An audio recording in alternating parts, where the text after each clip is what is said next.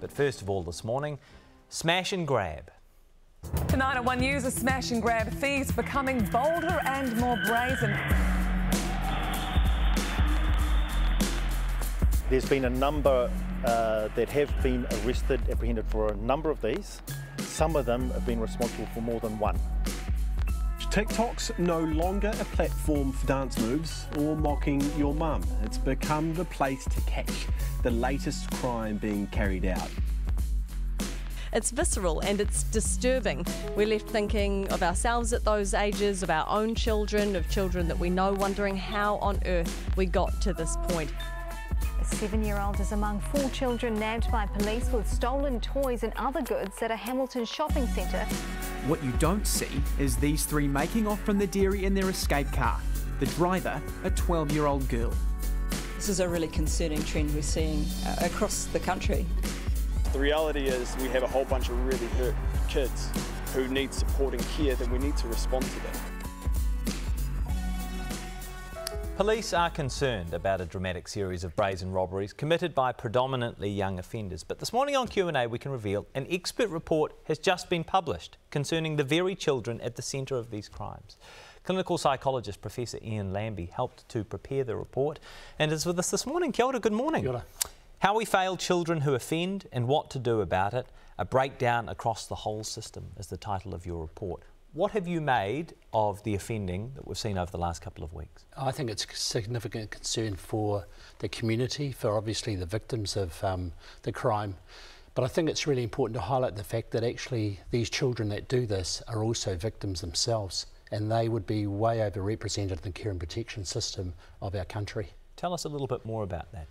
Well, I think these kids would have been known to Oranga Tamariki, they will be um, dropping out of education and they will have undiagnosed neurodevelopmental um, disorders and a whole range of behavioural disorders. And they'll be in families that are struggling to cope and struggling to provide adequate supervision support and will be marginalised by society. And I think we really need a compassionate and I think a holistic response to this that really looks at, as a community, what can we do and how do we keep these young people actually engaged in education and to live productive and good lives. So, who's responsible for this? Well, ultimately, I think it's an interesting question. I think that what we do need to look at is actually um, how do we actually help these young people under the age of 14? And I think we have a very good youth justice system for 14 to 18 year olds. I think it's world leading. I think it really, we have reducing crime rates and the um, number of young people going to the adult prison is reducing. But I think the gap is under 14 year olds. And really, we have to look at focusing on early intervention and how do we keep these young people at school and actually out of the youth justice system. And we haven't done that. This is one of the issues that you have considered in this report. Can you tell us a little bit more about your studies? Well, what we did is we, it's a three-year study. We looked at data, uh, we also looked at case files, and we also interviewed whānau and actually professionals, lawyers that were working in the system. And really what we found is that these children were known to the system. They had repeated no notifications of care and protection Oranga Tamariki. They were at the age of five, six, seven, eight years old. They were dropping out of school, disengaging education, getting expelled, and had significant behaviour problems which were very, very difficult for the teachers to work with. And they went on to actually actually into the youth justice system and then into the adult system. And as a country, we knew this 30 years ago. We knew from the longitudinal study in Dunedin that there were two groups of youth offenders, mm. life course persistent offenders and adolescent limited. And we've never as a country focused on life course persistent offenders and emphasised early intervention enough. Okay, talk to me a bit more about early intervention because I know when you look at the pictures on television of cars driving through malls yeah. or ram raiding dairies and, and liquor stores and all that sort of thing, it's very dramatic, right? And there are a lot of people who respond to that by saying, if these kids are able to commit these crimes, two things are happening. Number one, we're going too soft on crime. And number two, there is a failure within their families. What are the parents doing?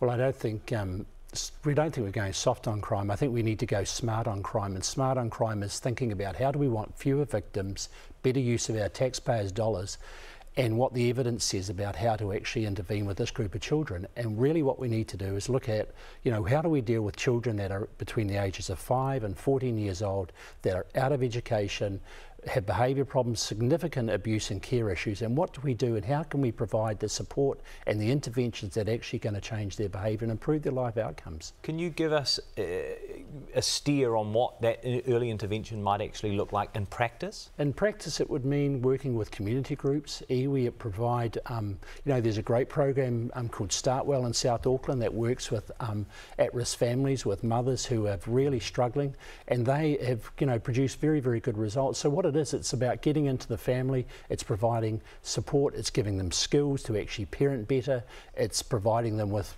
housing, um, food, those sort of things, and actually showing them how to get education with their kids and keep them at school. That's really what it's about. With this, with this, with the immediate immediate concerns around this spree in particular, are there ways that our policymakers could be better supporting police to stop these crimes?